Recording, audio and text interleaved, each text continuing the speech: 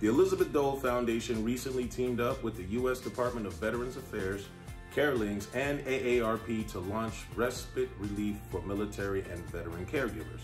Now, this program offers eligible caregivers of service members and veterans access to no cost short-term relief with the help of CareLinx in-home care professionals.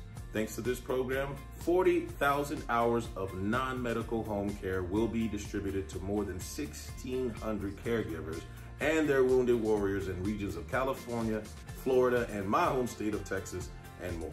For more information about this awesome program, go to hiddenheroes.org slash respite.